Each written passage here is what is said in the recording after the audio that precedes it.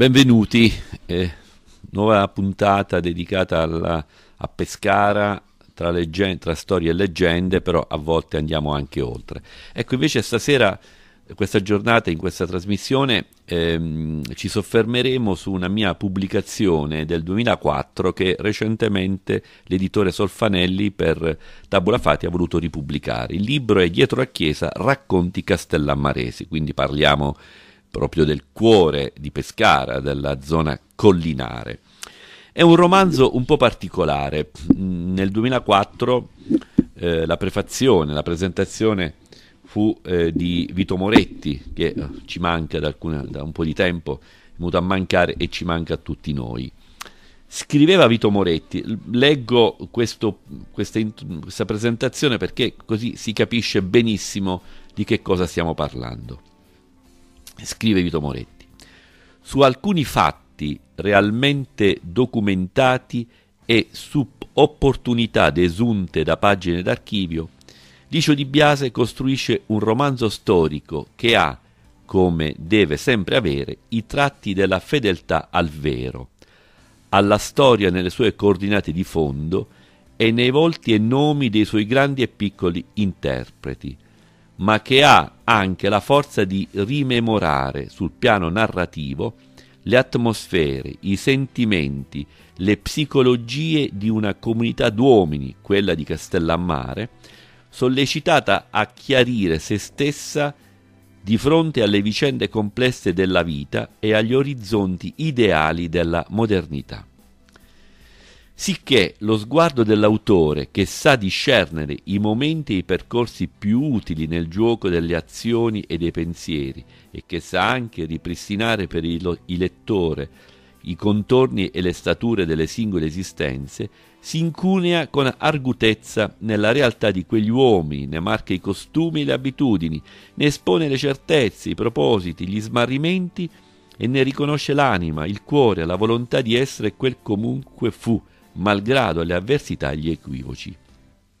In un quadro complessivo che tanto persuade quando sa unire le energie del documento con le risorse di una narrazione dai timbri nitidi e dalle turgide e rotonde espressività. Ecco, questa era questa è la presentazione di Vito Moretti di questo romanzo. Perché ho scritto questo romanzo nel 2004? Perché qualche anno prima avevo pubblicato Castellammare nel tempo, che è stato il mio primo testo, il mio primo libro, e con Castellammare nel tempo chiaramente avevo eh, disegnato la storia di Castellammare. Castellammare è, eh, era fino al 1927 la zona a nord del fiume Pescara, tra il fiume Pescara e il Fosso Mazzocco fino al confine con Spoltore.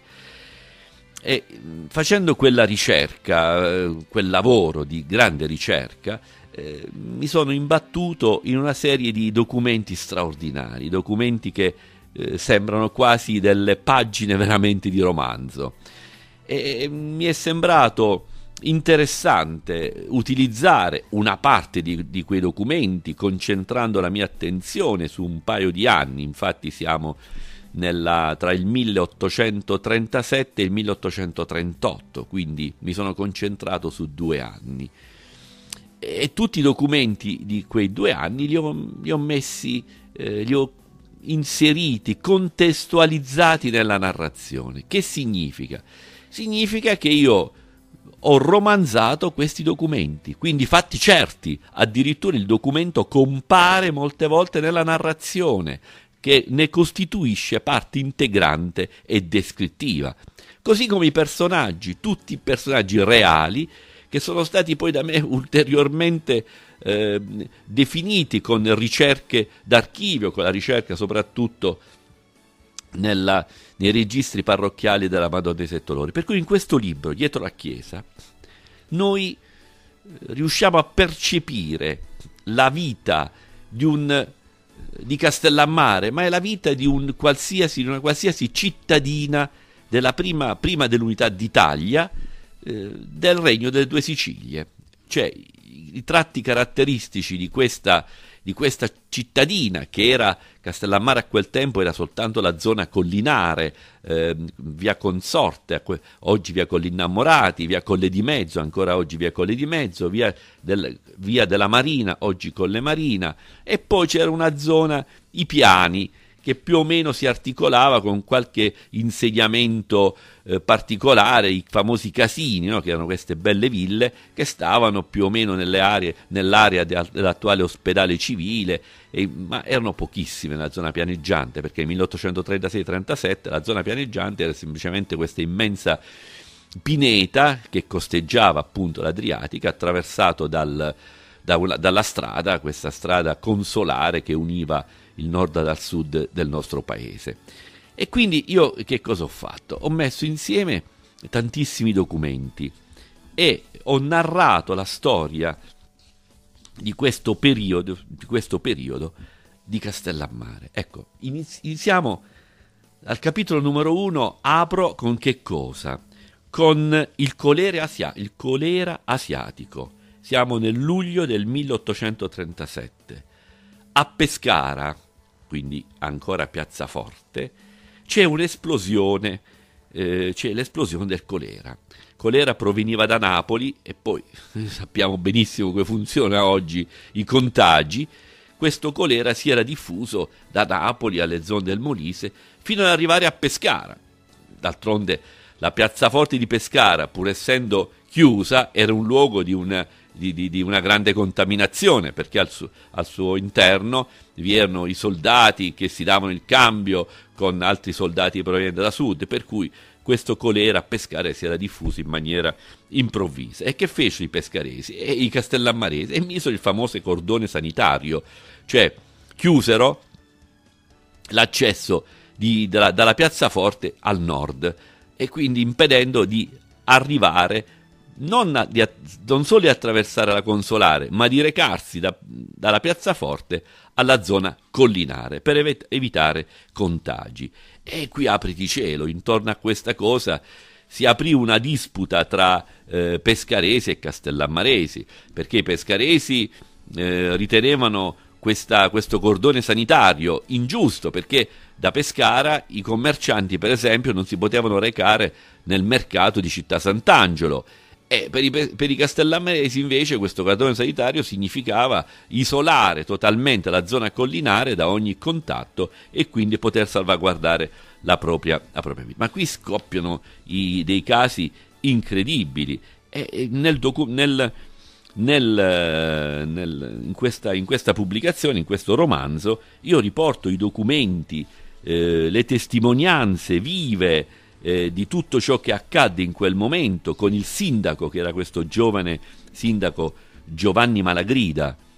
Ecco, molte volte noi eh, sappiamo che dalle parti dell'ospedale civile c'è questa via, via Malagrida, insomma, è la famiglia Malagrida che aveva la villa proprio da quelle parti ed era una delle poche ville non situate, nella, non collocate nella zona collinare, come ho detto prima, ma in questa zona, in questa contrada chiamata Lipiani, cioè nella zona pianeggiante di Castellammare, e stava di fronte al convento dei Cappuccini, che sarebbe di fronte all'attuale eh, diciamo, vecchio ospedale di via Paolini.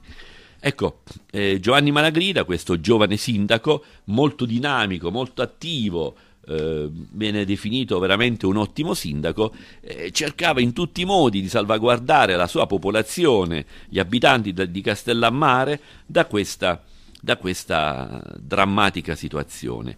Invece i, eh, eh i soldati della piazzaforte, soprattutto eh, diciamo, i militari eh, con gradi importanti, comandanti, eccetera, violavano, cercavano in tutti i modi di violare, di violare il cordone sanitario e si aprì una disputa violenta che addirittura fece partire dei, dei, colpi di fucile da parte dei soldati della piazzaforte che fuoriusciti dalla, dalla, dalla piazzaforte, superato il cordone sanitario, si erano avvicinati addirittura alla Madonna dei Sette Dolori. Ma qui c'è tutta una, una storia incredibile. Narro la, gio- la giornata del 15 agosto del 1837. Il 15 agosto era una giornata particolare per Castellammare, perché che cosa accadeva?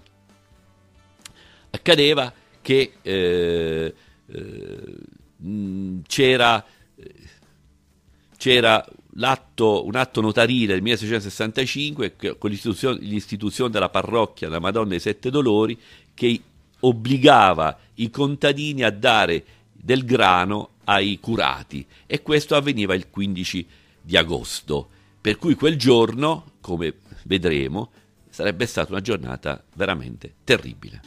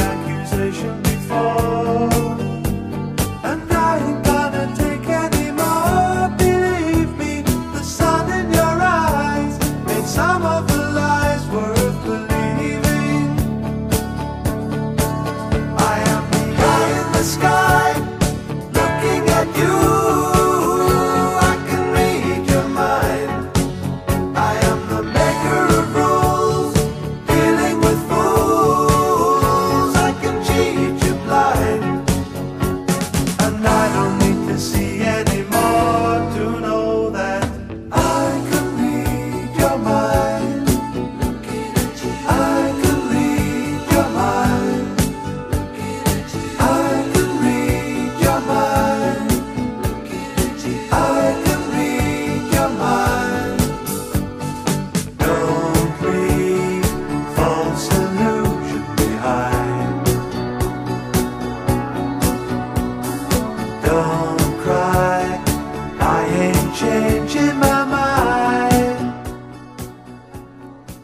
Quindi il 15 di agosto. Per noi oggi è Ferragosto, eh, a quel tempo, come ho detto, eh, era un problema per i contadini di Castellammare che quel giorno dovevano consegnare ai curati i sei famosi sei stoppelli di grano eh, che creava molti problemi nella vita della comunità perché questo atto notarile del 1665 era diventato un atto notarile capestro per i contadini. Eh, per istituire la parrocchia della Madonna dei Sette Dolori nel 1665 fu necessario questo atto, questo impegno da parte dei capi famiglia, che a quel tempo ne erano 87, per loro e per i loro discendenti. Poi nel tempo che cosa accadde? Accadde che nei momenti di carestia, di eh, magro raccolto, eh, per i contadini diventava oneroso dare tutto questo grano ai curati, i quali però, eh, avendo questo atto notarile poi facevano, eh, ricorrevano alle, alle autorità e quindi per i contadini era difficile sopravvivere. Si era aperto un grande braccio di ferro nel, a Castellammare e questo braccio di ferro viene fuori eh, in tutto questo libro. Diciamo che viene fuori eh, in maniera chiara ed era un braccio di ferro tra eh, i curati che volevano continuare a percepire le decime e invece i cittadini che volevano che venisse istituita la congrua, che avrebbe fatto, rispar- avrebbe fatto eh, pagare queste, queste, queste, queste spese al comune e non più quindi ai cittadini, ma soprattutto sarebbe stato molto più vantaggioso per la comunità, perché con la Congrua eh, avrebbero speso 350 ducati a fronte dei, dei quasi 1300 ducati che invece i curati introitavano con il grano. Questa, questo contrasto lo troviamo come un leitmotiv in questo libro, dietro la Chiesa. Perché dietro la Chiesa? perché è il luogo centrale della vicenda di Castellammare, la chiesa da Madonna Sette Dolori con i curati e dietro la chiesa c'era anche eh, il municipio proprio quasi attaccato nel parcheggio adesso di, di Seita Tiberi dove ci sono due ristoranti, lì c'era il municipio di Castellammare, quindi proprio dietro la chiesa. E lì si svolgeva un po', era il luogo centrale della vita di Castellammare, perché i curati con la loro eh, azione spirituale, eh, il municipio con la propria azione amministrativa e, e, poi la comunità, la comunità amministrata che chiaramente, ecco, come ho detto, eh, sollevavano delle obiezioni in questa, in questa vicenda. Quindi il 15 agosto lì c'era questa, su, mentre, men, sul, mentre, c'era questo problema della, del colera che, si, che, si, che stava contagiando le, le, le aree piane, pianeggianti, Pescara, e su c'era questa, questa, questo correre di carri che portavano il grano ai curati. Ecco, questo del, del 15 di agosto rimane un po' come una data molto importante qui nel, nella vicenda di, questa, di questo Castellammare, perché si ripeteva ogni anno ed era veramente una cosa sconvolgente per i contadini privare la propria famiglia di queste, di queste risorse. Dall'altra parte, come ho già detto, però i curati avevano un atto notarile che facevano eh, in continuazione eh, valere. E allora che cosa poi scriviamo ancora in questo libro? Ripeto, eh, romanzo che ruota intorno ai documenti, cioè nella, nella narrazione troviamo i documenti che vivono, che rivivono, rivivono, se c'è una delibera del decurionato che è importante nella narrazione, questa delibera viene letta dal cancelliere piuttosto che dal sindaco. Quindi c'è una continua, una continu, un continuo far rivivere il documento. E appare appunto la vita di Castellammare tra, in quei due anni, con tutte le attività agricole che era al primo al primo posto con la grande produzione di olio. Eh, pensiamo che a un certo punto, alla metà degli anni dell'Ottocento, più o meno 1850 e qualcosa, si contavano 47 frantoi. Quindi significa che c'era una grande produzione di, di olive e di olio. È pure vero che eh, eh, c'era questa proliferazione di frantoi perché era difficile il trasporto con i carri delle olive, magari in maniera molto in, su, su, in luoghi distanti dalla, dal luogo della raccolta delle olive. Però eh, questa proliferazione dimostrava che c'era, che c'era questa grande, grande produzione di olive, così come grande produzione di olio e di grano. Quindi soprattutto, era soprattutto una realtà contadina con dei grandi proprietari terrieri, c'erano i mezzopreti Filippone Gomez, i De Jacobis, i Malagrida, i Fusili, c'erano famiglie che avevano grandi eh, proprietà terriere. E poi c'era questa massa di contadini, eredi di quei famosi contadini che nel corso del 600 e del 700 si erano trasferiti dal Teramano in questa zona collinare, soprattutto dopo che la piazzaforte nel 1600 aveva cominciato a funzionare a pieno ritmo e quindi avevano, vi era una presenza di mille soldati, quindi mille bocche da sfamare, per cui la, crebbe notevolmente la produzione agricola e anche l'allevamento di animali proprio per alimentare i soldati della piazzaforte. E Castellammare quindi visse, visse intorno a questa opportunità eh, dal libro emergono anche eh, le, le, la, la, vicenda del, del, del Camposanto eh, da realizzare, poi bloccato l'appalto. Emergono quindi tutte quelle vicende di una vita, di un, la quotidianità della vita di Castellammare, però è una vita incredibile perché veramente eh, ci rendiamo conto delle sofferenze del, de, della popolazione, come ho detto prima la, ma- la maggior parte erano contadini che non avevano grandi risorse ed è quindi di una, eh, come dire, di un, di una eh, realtà abbastanza difficile. Queste pagine quindi raccontano Castellammare nel periodo che va dal 1837 al 38 e sono il frutto quindi di attente ricerche che ho svolto e dell'amore che porto verso un luogo che il tempo ormai ha cancellato e anche il tentativo di ridestare le memorie offuscate dalla scomparsa dei segni del nostro passaggio. Ecco, noi però siamo qui, con la storia che scivola su di noi. E allora, con questi racconti su Castellammare, che aveva dietro la chiesa della Madonna dei Sette Dolori, luogo centrale, come avrebbe detto Gabriele Annunzio, dei propri laboriosi traffici quotidiani, voluto disegnare uno spaccato della vita di questa cittadina, che era poi la vita di qualsiasi altro luogo del regno di Napoli.